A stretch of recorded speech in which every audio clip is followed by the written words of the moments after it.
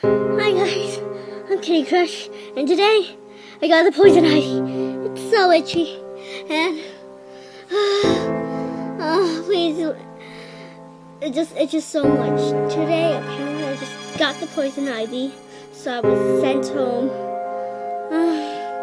so I might not be making any videos soon until my poison ivy has gone away, but.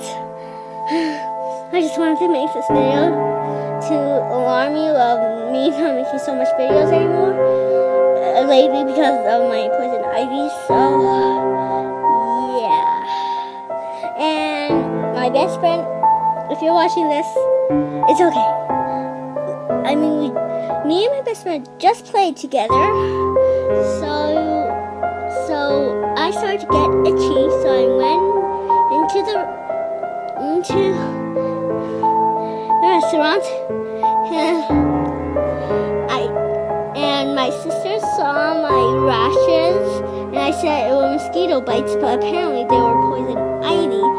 So I was sent home with this wet towel to wipe my spots.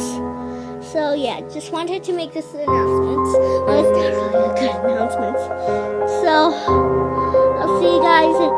I got my poison ivy away. Bye.